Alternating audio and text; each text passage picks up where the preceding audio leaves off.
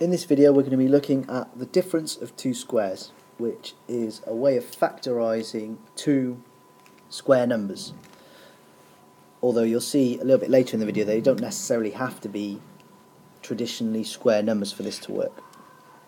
Um, let's look at the first one, this is just to get the concept. So we have 5 squared minus 3 squared.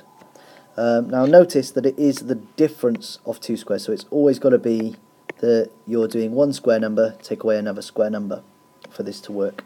So 5 squared is 25 minus 3 squared, which is 9, which will give us 16. Now, the reason that I've done that is so that we can have a look at how this actually works.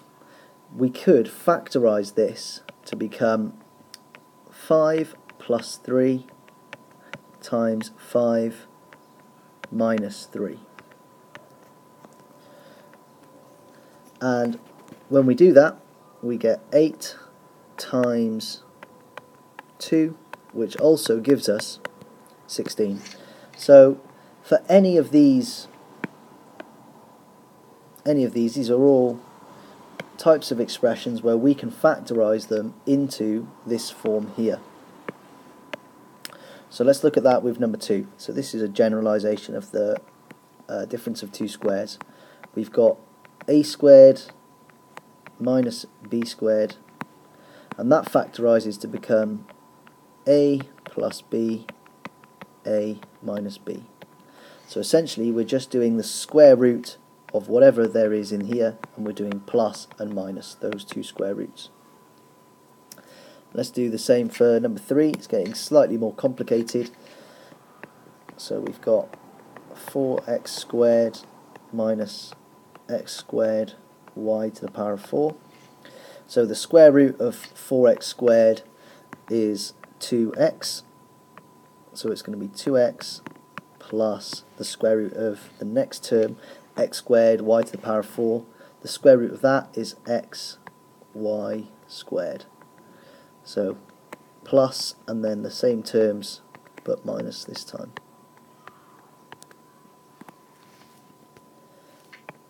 Let's look at number 4. We have 3 minus x squared. Now with this one we don't have a square number here. 3 is not a square number, but it doesn't matter because we can still um, do the, use the square root of it. So the square root of 3 is just root 3 and then we're going to do plus the square root of x squared which is x and then the square root of 3 minus x. Let's move on to number 5. It's going to be similar here.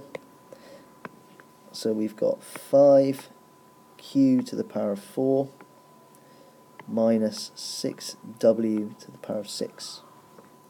So the square root of 5q to the power of 4 is going to be root 5q squared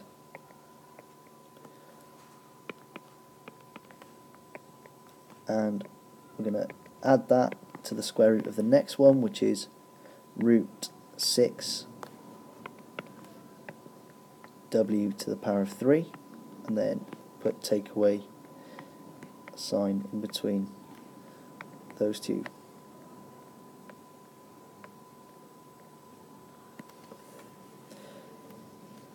And then finally the last one we've got x to the power of 4 minus 4.